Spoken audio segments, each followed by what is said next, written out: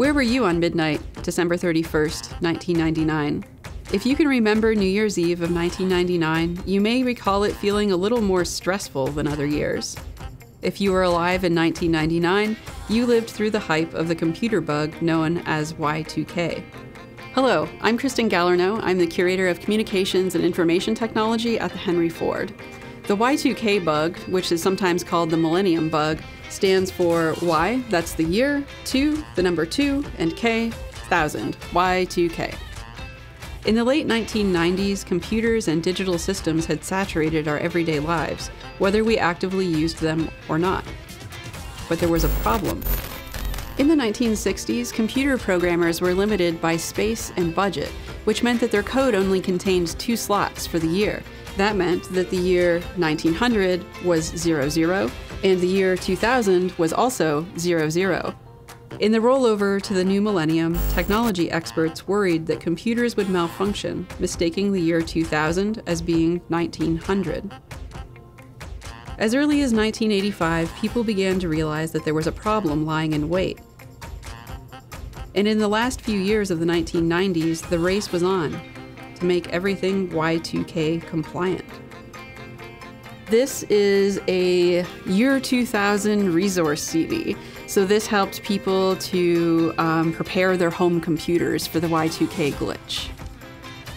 Another favorite is this bookmark. And if you can see on the bottom, there is a little sticker that says Y2K compliant, which is a really silly pun because bookmarks are always going to be Y2K compliant.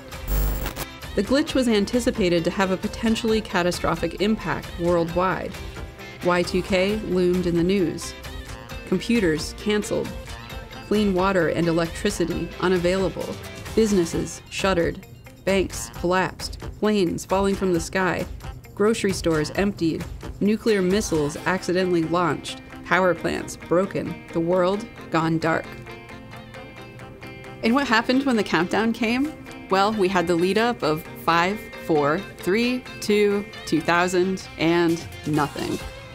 20 years later, we laugh about the non event that Y2K turned out to be, but a lot of behind the scenes work went into making our digital systems Y2K compliant. Around the world, government agencies and private companies alike formed task forces. They spent billions of dollars attempting to repair problems and to create contingency plans in case there were interruptions. And like any holiday, impending technological meltdown or not, people were eager to celebrate the turning of the millennium. They still had parties. They still wore silly hats, weird glasses, and sparkly clothing. But they also stocked up on water and freeze dried pizza they bought ties like this, Millennium themed cereal, and Y2K bugs.